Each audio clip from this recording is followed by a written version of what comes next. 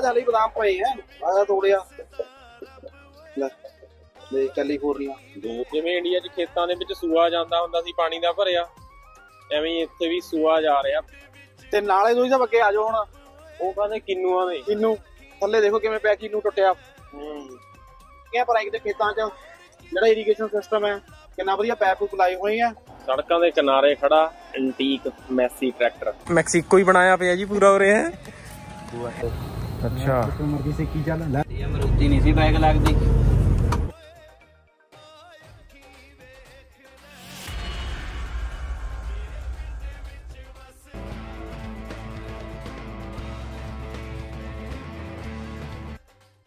ਬਾਈ ਉਹ ਨਹੀਂ ਹੋ ਗਏ ਰੈਡੀ ਕਹਿੰਦੇ ਵੀ ਤੁਹਾਨੂੰ ਘੁਮਾਉਂਦੇ ਆ ਬੇਕਰਸਫੀਲਡ ਕੱਢੋ ਗੱਡੀ ਫਿਰ ਬਾਈ। ਮਰਾਈ ਹੈ ਕਿਹੜੀ ਤੁਹਾਨੂੰ। ਹਾਂ ਜੀ ਹਾਂ। ਸੋਈ ਸਾਹਿਬ ਲੇਟ ਚੱਲ ਰਹੇ ਆ। ਬੂਟ ਬਟ ਹਲੇ ਪਾਈ ਨਹੀਂ ਸੋਈ ਸਾਹਿਬ ਨੇ। ਸੋਈ ਸਾਹਿਬ ਗੱਲਾਂ ਸੁਣਨ ਦੇ ਹੀ ਬਹੁਤ ਸ਼ਕੀਨ ਹੋ ਜਾਂਦੇ ਆ। ਬੂਟੇ ਬਹੁਤ ਟਾਈਟ। ਨੇ ਖਾ ਜਾ ਬਾਈ ਪਰੌਂਠੇ ਵਾਲੇ ਖਿਲਾ ਦੇ ਤੋਂ ਦਾ ਲਾਜ ਜੀ ਇੱਕ ਮੌਸਮ ਦਾ ਬੇਕਰਸਫੀਲਡ ਦਾ। ਬਾਈ ਉਹਨਾਂ ਦਾ ਮਹੱਲਾ ਜਿਹੜਾ ਸਾਰਾ। ਕਿਹੜੀਆਂ ਕਿਹੜੀਆਂ ਕੋਈ ਮਸ਼ਹੂਰ ਜਗ੍ਹਾ ਕਿੱਥੇ ਕਿੱਥੇ ਜਾਣਾ ਜੀ ਆਪਾਂ ਨੇ ਅੱਜ ਹੁਣ? ਪਹਿਲਾਂ ਤਾਂ ਮੈਂ ਕਹਿੰਦਾ ਟਰੱਕ ਯਾਰ ਜਾਣਾ ਆਪਾਂ ਨੇ। ਟਰੱਕ ਯਾਰਡ 'ਚ ਜਾਣਾ ਥੋੜਾ ਜਿਹਾ ਕੰਮ ਆਪਾਂ ਨੂੰ। ਹਾਂਜੀ। ਇੱਕ ਤੁਹਾਨੂੰ ਯੂਨੀਵਰਸਿਟੀ ਦਿਖਾ ਦਈਏ ਜਿੱਥੇ ਆਪਣੇ ਜਿਹੜੇ ਮੁੱਖ ਮੰਤਰੀ ਉਪ ਮੁੱਖ ਮੰਤਰੀ ਹਾਂਜੀ। ਸੁਖਬੀਰ ਸਿੰਘ ਬਾਦਲ ਪੜ੍ਹ ਕੇ ਗਏ ਨੇ। ਹਾਂ। ਇਹਨਾਂ ਨੇ ਪੜ ਕੇ ਪੰਜਾਬ ਦਾ ਨਾਸ ਮਾਰਿਆ। ਮੈਂ ਉਹੀ ਕਹਿਣ ਲੱਗਿਆ ਸੀ ਵੀ ਜਿੱਥੇ ਸੁਖਵੀਰ ਸਿੰਘ ਬਾਦਲ ਉਹਨਾਂ ਨੇ ਪੰਜਾਬ ਦੀ ਕੰਗਾਲੀ ਦਾ ਕਾਇਦਾ ਪੜਿਆ ਠੀਕ ਹੈ। ਜਿਹੜੇ ਮੌਜੂਦਾ ਅਕਾਲੀ ਦਲ ਦੇ ਪ੍ਰਧਾਨ ਨੇ। ਖਾਲੀ ਦਲ ਕੇ ਕਾਲੀ ਦਲ ਕਿਆ ਕਹਿ ਰਹੇ ਹੋ? ਅਕਾਲੀ ਦਲ ਜੀ ਅੱਛਾ ਅੱਛਾ। ਕਾਲੀ ਆੜਾ ਕੱਟ ਦੋ ਕਾਲੀ ਆਈ ਉਹਨਾਂ ਦੇ ਨਾਲ ਆਪਾਂ ਉਹਨਾਂ ਦੀ ਕਮਿਊਨਿਟੀ ਦਾ ਗੇੜਾ ਛੇੜਾ ਲਾਉਣ ਆਇਆ ਇਹ ਦੇਣਗੇ ਆਪਾਂ ਨੂੰ ਡੈਮੋ ਇੱਥੇ ਕਿੱਦਾਂ ਦੇ ਘਰ ਨੇ ਕਿੱਦਾਂ ਦਾ ਏਰੀਆ ਹੈ। ਇਹ ਕਮਿਊਨਿਟੀ ਕਲੱਬ ਬਣਿਆ ਹੋਇਆ ਜੀ ਇਹਨਾਂ ਦੀ ਨੇਬਰਹੁੱਡ ਦੇ ਵਿੱਚ ਇਹ। ਤੇ ਯਾ ਅੱਛਾ ਸਾਰਾ ਕੁਝ ਉਹ ਹੈ ਮੇਰੇ ਸਕੈਨ ਹੁੰਦਾ ਹੈ। ਐ ਨਹੀਂ ਕੋਈ ਸਾਡੇ ਵਰਗਾ ਹੀ ਆ ਕੇ ਵੜ ਜਾਊਗਾ ਜਾਣੀ।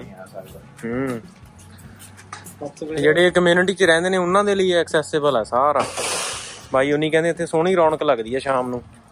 ਮੈਕਸੀਕੋ ਹੀ ਬਣਾਇਆ ਪਿਆ ਜੀ ਪੂਰਾ ਉਰੇ ਹੈ। ਉਹ ਕੈਨਕੂਨ ਵਾਲੀ ਫੀਲਿੰਗ ਹਾਂ ਕੈਨ ਹੈ ਜੀ? ਮੈਂ ਕਿਹਾ ਕੈਨਕੂਨ ਜਾਣ ਦੀ ਕੀ ਲੋੜ ਆ ਤਾਂ ਉਰੀ ਬਣਾਇਆ ਪਿਆ ਇਹਨਾਂ ਨੇ ਦੇਖ। ਹਾਂ ਉਹ ਪਿੱਛੇ ਪਹਾੜ ਦਿਖਦੇ ਨੇ। ਇਹ ਦੂਜਾ ਆਪਣਾ ਸੌਨਾਬਾਦ ਜਿਹੜਾ ਗਰਮ ਪਾਣੀ ਨਹੀਂ ਜਕੂਜ਼ੀ ਅੱਛਾ। ਉਹ ਹੈ ਇਹ। ਲੈ। ਪੈਰ ਧਰ ਕੇ ਦੇਖੋ ਗਰਮ ਚੱਲਦਾ ਪਾਣੀ ਪੂਰਾ। ਹਾਂ ਪਾਪਾ ਨਿਕਲ ਰਹੀਆਂ। ਇਹਦਾ ਵੀ ਨਾਲ ਟੈਂਪਰੇਚਰ ਸੈੱਟ ਕਰਨ ਨੂੰ ਹੈ ਉਹ ਦੇ ਸਾਈਡ ਰੱਖ ਪੈਰ ਮੜ ਜਾ ਅੰਦਰ ਹਾਂ। ਪਾਣੀ ਪੂਰਾ ਹੋਇਆ ਬਾਈ। ਮੈਨੂੰ ਲੱਗ ਰਿਹਾ ਹੈ ਵੀ ਮੈਨੂੰ ਪਤਾ ਕੀ ਲੱਗ ਰਿਹਾ ਹੈ। ਮੈਨੂੰ ਇਹ ਲੱਗ ਰਿਹਾ ਵੀ ਆਪਾਂ ਟ੍ਰਿਪ ਥੋੜਾ ਜਿਹਾ ਆਪਾਂ ਨੂੰ ਜ਼ਿਆਦਾ ਹੀ ਮੋਡੀਫਾਈ ਕਰਨਾ ਪੈਣਾ ਕੰਮ ਇਹ।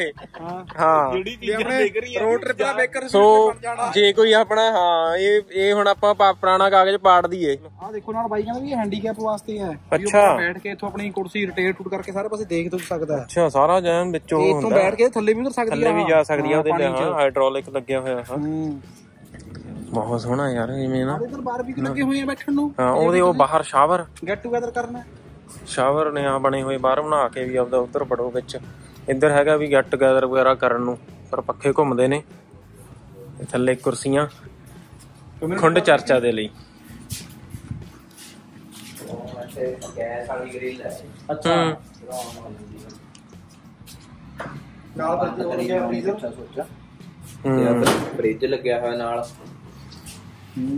ਜੇ ਤੁਹਾਡਾ ਘਰੇ ਕੋਈ ਪਾਰਟੀ ਫੰਕਸ਼ਨ ਜਾਂ ਫਿਰ ਕਿਹੜੇ ਪਹਿਲਾਂ ਬੁੱਕ ਕਰਾਉਣਾ ਪੈਂਦਾ? ਨਾ ਨਾ ਨਹੀਂ ਨਹੀਂ ਇਹ ਕਮਿਊਨਿਟੀ ਵਾਲਿਆਂ ਲਈ ਹੈ ਜੀ। ਜਿਵੇਂ ਹੁਣ ਬਾਈ ਨੇ ਮੂਰੇ ਕਾਰਡ ਸਕੈਨ ਕਰਿਆ ਸੀ ਆਪਦਾ। ਕਾਰਡ ਸਕੈਨ ਆਓ ਕਰੋ ਤੇ ਅੰਦਰ ਆਓ ਬਸ। ਸਾਈਡ ਹੈ ਅੱਛਾ ਦੋ ਦੋ ਦੋ ਪਾਰਟੀਆਂ ਕਰ ਸਕਦਾ ਬੰਦਾ। ਹੂੰ ਜਿਵੇਂ ਘਰ ਜੇ ਕੋਈ ਉਰੇ ਹੈਗਾ ਆ ਤਾਂ ਕੋਈ ਚੱਕਰ ਨਹੀਂ। ਜੇ ਖਾਲੀ ਹੈ ਤੁਸੀਂ ਆ ਜਾਓ ਆਪਣਾ ਫਸਟ ਕਮ ਫਸਟ ਸਰਵ ਵਾਲਾ ਕੰਮ ਲਈ ਯਾ ਉਹ ਪੰਜਾਬੀ ਤੇਜ਼ ਆ ਮੜਕਣ ਚ ਫਿਰ ਹੈ। ਸਵੇਰੇ ਰਮਾਲ ਰੱਖ ਕੇ ਚਲੇ ਜਾਣਗੇ। ਇੱਥੇ ਥੋੜਾ ਜਿਹਾ ਫ਼ਰਕ ਹੈ ਲੋਕਾਂ ਦਾ ਜਿਹੜੇ ਪੂਰੇ ਵਾਲੇ ਨੇ ਇਹ ਏਰੀਆ 'ਚ ਇਦਾਂ ਨਹੀਂ ਹੈ। ਅੱਛਾ। ਬਿਜਨਸ ਸੈਂਸੀਬਲ ਦੇ ਲੋਕ ਹੈ ਬਈ ਸਮਝਦਾ ਕਾ ਹੈ ਹੂੰ ਨਹੀਂ ਉਹ ਜਿਹੜੇ ਹੁਣ ਅਹੀ ਜੀ ਕਮਿਊਨਿਟੀ ਚ ਰਹਿਣਗੇ ਜੀ ਉਹ ਤਾਂ ਫਿਰ ਫ਼ਰਕ ਹੋਊਗਾ। ਨਾਲੇ ਇਹ ਤਾਂ ਹਾਸੇ ਵਾਲੀ ਗੱਲ ਹੈ ਆਪਣੀ ਚੱਲ। ਅੱਛਾ ਇੱਧਰ ਹੋਰ ਹੈ ਅੱਗੇ। ਨੂੰ ਯਾਰ ਹੈ ਆਪਣਾ। ਹੈ ਜੀ ਮੈਂ ਪਤਾ ਕੀ ਕਰ ਰਿਹਾ? ਹੂੰ। ਮੈਂ ਕਿਹਾ ਪਰੌਂਠੇ ਫਰੂਟੇ ਖਾ ਕੇ ਵੈਸੇ ਤਾਂ ਬਾਈ ਉਹਨਾਂ ਦੇ ਘਰੇ ਵੀ ਘਾਹ ਹੈਗਾ ਹੈ। ਨਹੀਂ ਉਧਰ ਕਾਜੇ ਦੇ ਬਸ ਨਾ ਇੱਥੇ ਹੋ ਲਿਟੀਏ ਹੈ? ਖੇਤਾਂ ਦੇ ਵਿੱਚ ਬਣਾਈ ਜਾ ਰਹੇ ਆ ਨਾਲ ਨਾਲ। ਉਧਰ ਨੂੰ ਘਰ ਜਿਹੜੀ ਨ- ਨਵੀਂ ਕਮਿਊਨਿਟੀ ਉਹ ਦੱਸ ਰਹੇ ਸੀ ਉਧਰ ਬਣ ਰਹੇ ਨੇ ਨਾ ਘਰ। ਬਾਤਾਂ ਮਾਰੋ। ਅੱਛਾ। ਮਰਜ਼ੀ ਸੇ ਕੀ ਚੱਲ। ਲੈ ਪੂਰਾ ਕਮਿਊਨਿਟੀ ਹਾਂ ਯਾਰ ਉਹਦਾ ਬਹੁਤ ਸੋਹਣੀ ਜਗ੍ਹਾ ਬਣੀ ਹੋਈ ਹੈਗੀ ਹੈ ਨਾ। ਉਹ ਪਿੱਛੇ ਖੇਲ ਰਹੇ ਨੇ ਉਧਰ ਗਰਾਊਂਡ ਬਣਿਆ ਹੋਇਆ। ਹੈ। ਨਾਲ ਸਵਿਮਿੰਗ ਪੂਲ ਨਾਲ ਸੇਮ ਇੱਧਰ ਝੂਲੇ ਵਗੈਰਾ। ਇਧਰੋਂ ਟਾਈਮਰ ਲੱਗ ਜਾਂਦਾ ਇਧਰੋਂ ਬੰਦ ਕਰ ਦੇ ਓਕੇ ਨਿਆਣੇ ਨੂੰ ਖੇਡਣ ਨੂੰ। ਹੂੰ। ਸੋ ਇਹ ਹੈਗਾ ਜੀ ਕਮਿਊਨਿਟੀ ਹਾਲ ਇਸ ਕਮਿਊਨਿਟੀ ਦਾ। ਇੱਥੇ ਇਦਾਂ ਦਾ ਹਾਲ ਹੈ ਜਿੰਨੇ ਵੀ ਇੱਥੇ ਲੋਕੀ ਰਹਿੰਦੇ ਨੇ ਉਹਨਾਂ ਦੇ ਲਈ ਹੈ ਤੇ ਇੱਥੇ ਉਹ ਉੱਪਰ ਪ੍ਰੋਜੈਕਟਰ ਵੀ ਲੱਗਿਆ ਹੋਇਆ ਬਾਈ ਉਹ ਨਹੀਂ ਦੱਸਦੇ ਸੀ। ਸਾਹਮਣੇ ਸਕਰੀਨ ਹੈਗੀ ਉੱਥੇ ਲਾ ਕੇ ਕੋਈ ਵੀ ਆਪਾਂ ਕੋਈ ਫੰਕਸ਼ਨ ਆਰਗੇਨਾਈਜ਼ ਕਰਦੇ ਆ। ਜਾਂ ਕੋਈ ਮੂਵੀ ਵਗੈਰਾ ਇੱਥੇ ਦੇਖਦੇ ਨੇ ਲੋਕੀ। ਕਿਚਨ ਵੀ ਇੱਧਰ? ਹੂੰ ਅੱਛਾ ਇੱਧਰ ਰਸੋਈ ਵੀ ਹੈਗੀ ਆ ਬਣੀ ਹੋਈ ਪੂਰੀ ਆ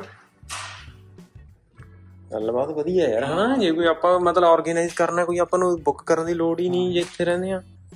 ਕੋਈ ਹੋਟਲ ਵਗੈਰਾ ਜਾਂ ਕੁਝ ਹੋਰ। ਜਿਵੇਂ ਜਿਹੜੀ ਕਹਿੰਦਾ ਬਾਈ ਦੱਸਦਾ ਸੀਗਾ ਜਿਵੇਂ ਐਚਓ ਫੀਸ ਦਿੰਦੇ ਨੇ ਹਾਊਸਿੰਗ ਐਸੋਸੀਏਸ਼ਨ ਵਾਲੇ ਦਾ ਪੂਰਾ ਪੁੱਲ ਪੂਰਾ ਪੁੱਲ ਮੁੜਿਆ ਹੋਇਆ ਹੈ ਨਾ। ਹੂੰ। ਜਿਵੇਂ ਨਾਲੇ ਜਿਮ ਹੈ ਬਾਹਰ ਦੀ ਹੈ ਬੱਚਿਆਂ ਦੇ ਪਾਰਕ ਮੈਂ ਕਿਹਾ ਬਾਈ ਉਹਨਾਂ ਨੇ ਹੁਣ ਕਮਿਊਨਿਟੀ ਤੇ ਦਿਖਾ ਬਾਅਦ ਚੋਂ ਦੇਖ ਲੈਣੇ ਬਾਕੀ ਦੀ। ਪਹਿਲਾਂ ਆਪਾਂ ਕੋਈ ਲਾਟਰੀ ਵਾਲੀ ਦੁਕਾਨ ਤੇ ਨਹੀਂ ਚੱਲੀਏ ਬਾਈ ਨੂੰ। ਕੋਈ ਲਾਟਰੀ ਲੂਟਰੀ ਪਵੇ ਮੇਰਾ 20000 ਵਾਲੀ ਲਾਟ ਜਿਹੜੀ ਦਿਖਾਈ ਹੈ ਕਰਦੇ ਆ ਬੁੱਕ ਆਪਾਂ। ਪਾਵਰ ਬਾਲ ਪਾ ਲਓ ਇੱਦਾਂ। ਪਾਉਣੀ ਪੈਣੀ ਹੈ ਕੋਈ ਪਾਵਰ ਬਾਲ ਹੀ ਕਰੂਗੀ ਇਹ ਤੇ ਕੰਮ ਫੇਰ ਤਾਂ ਹੁਣ। ਪੂਰਾ ਵਧੀਆ ਝੰਡੇ ਝੂਲਦੇ ਨੇ ਪੂਰੇ ਅਮਰੀਕਾ ਦੇ ਦੇਖ।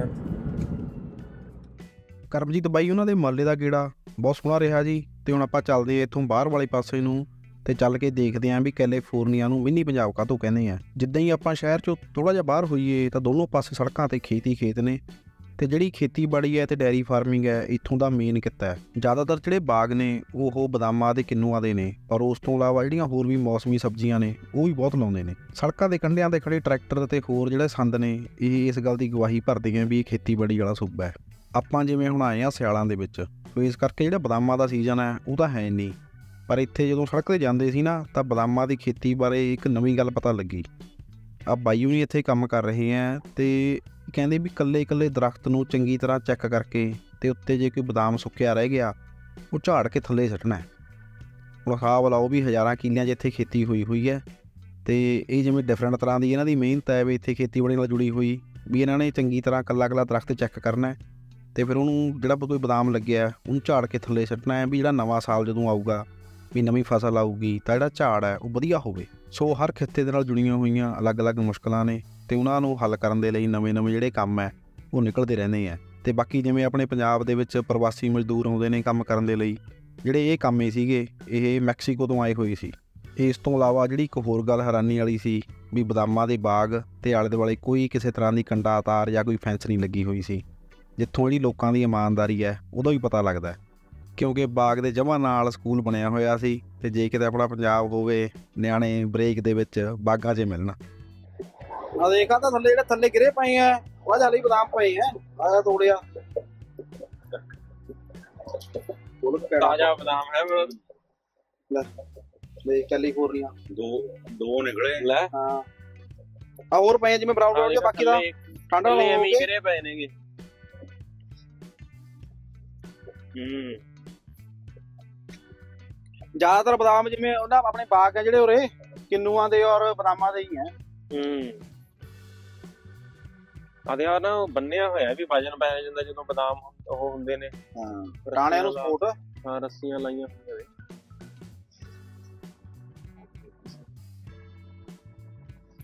ਹੂੰ ਤੇ ਇੱਧਰ ਸੜਕ ਦੇ ਦੂਜੇ ਪਾਸੇ ਆ ਹਰਿਆਈ ਮਾਰਦੇ ਖੇਤਾਂ ਦੇ ਵਿੱਚ ਵਿਛੇ ਹੋਏ ਪੈਪ। ਤੇ ਬਹੁਤ ਸੋਹਣਾ ਜਿਹੜਾ ਇਰੀਗੇਸ਼ਨ ਸਿਸਟਮ ਹੈ, ਉਹ ਲਾਇਆ ਹੋਇਆ ਹੈ ਤੇ ਉਹ ਪਿੱਛੇ ਖੇਤਾਂ ਦੇ ਵਿੱਚ ਬਣੇ ਹੋਏ ਘਰਾਂ ਨੂੰ ਦੇਖ ਕੇ ਜਿਹੜੀ ਪੰਜਾਬ ਦੀ ਯਾਦ ਹੈ, ਉਹ ਹੋਰ ਵੀ ਤਾਜ਼ਾ ਹੋ ਗਈ।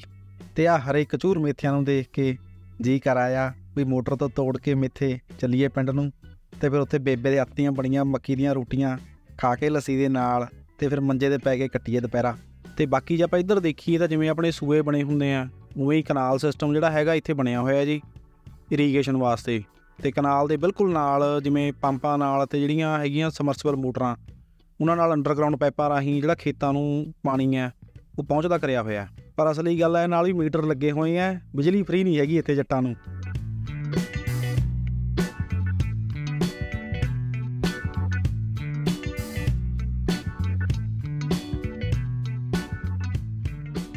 ਹਾਈਵੇ ਤੇ ਜਾਂਦੇ ਜਾਂਦੇ ਆਪਾਂ ਨੂੰ ਇੱਕ ਹੋਰ ਜਿਹੜੇ ਖੇਤਾਂ ਨਾਲ ਦਿਖੇ ਜੀ, ਇਹ ਹੈਗੀਆਂ ਗੂਰ ਦੀਆਂ ਬੇਲਾਂ।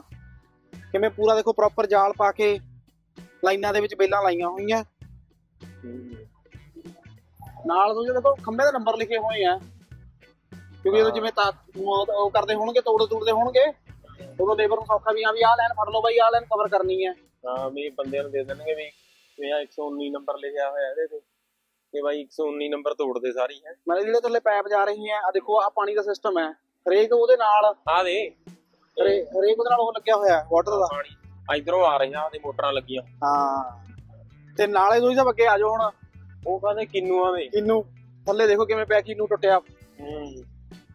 ਕਿੰਨਿਆਂ ਦਾ ਵੀ ਜਿਹੜਾ ਸੀਜ਼ਨ ਹੈ ਉਹ ਆਲਮੋਸਟ ਜਿਵੇਂ ਹੁਣ ਖਤਮ ਹੀ ਸੀ। ਕਿਉਂਕਿ ਦਸੰਬਰ ਜਨਵਰੀ ਜਦੋਂ ਠੰਡੀ ਸ਼ੁਰੂ ਹੁੰਦੀ ਹੈ ਉਦੋਂ ਪੱਕ ਜਾਂਦੀਆਂ ਇਹ।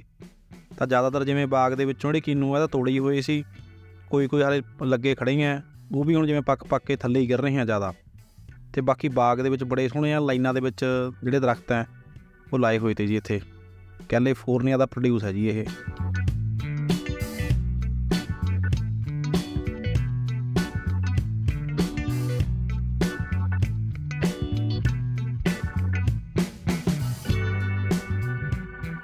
ਬਦਾਮਾਂ ਤੇ ਕਿੰਨੂਆਂ ਦੇ ਬਾਗ ਦੇਖਣ ਤੋਂ ਬਾਅਦ ਇਹ ਹੈ ਜੀ ਸਾਹਮਣੇ ਆਪਣੇ ਹੁਣ ਇੱਕ ਡੈਰੀ ਫਾਰਮ ਬਣਿਆ ਹੋਇਆ।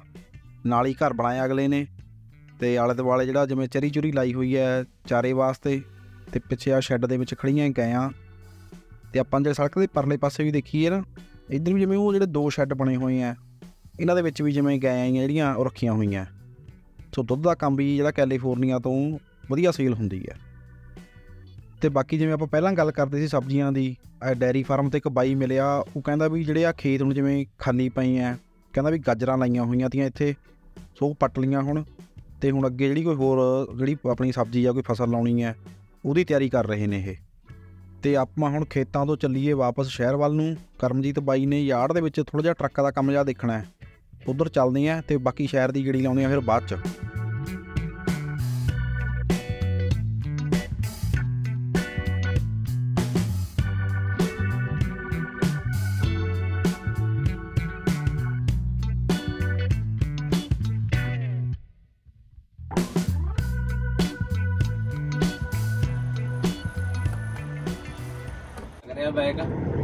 ਇੰਡੀਆ ਮਰੂਤੀ ਨਹੀਂ ਸੀ ਬੈਗ ਲੱਗਦੀ। ਇੱਕ ਹੱਥ ਨਾਲ ਹੀ ਚੱਲਦਾ ਹੁਣ ਕੰਮ।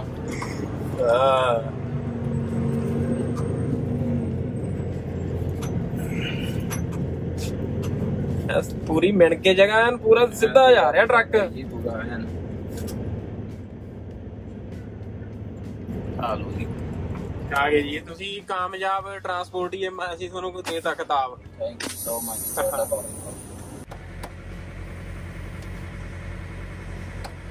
truck yard ਦੇ ਵਿੱਚ ਥੋੜਾ ਜਿਹਾ ਕਵੇਲਾ ਹੋ ਗਿਆ, ਪਰ ਇੱਕ ਤਾਂ ਆਪਾਂ ਦੇਖਣੀ ਹੈ ਯੂਨੀਵਰਸਿਟੀ ਤੇ ਦੂਜਾ ਹੈਗਾ ਇੱਕ ਬੇਕਰਫੀਲਡ ਦਾ ਸਾਈਨ ਸੋ ਉਹ ਦੇਖਦੇ ਆਂ ਜੀ ਚੱਲ ਕੇ।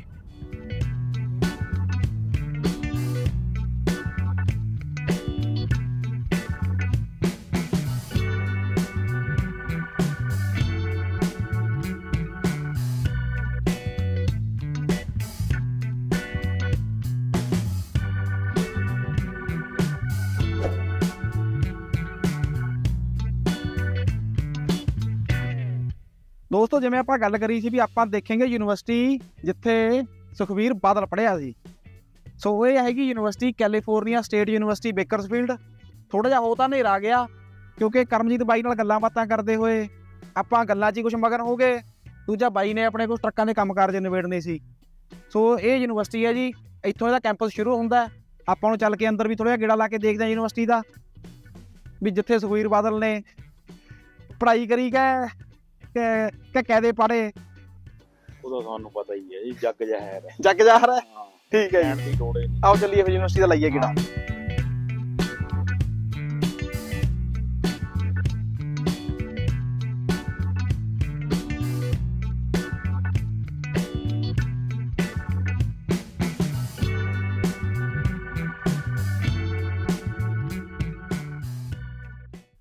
ਸੋਚ ਕੇ ਦੇਖੋ ਕਿ ਐਮਬੀਏ ਕਰਨ ਆਇਆ ਸੁਖਵੀਰ ਬਾਦਲ।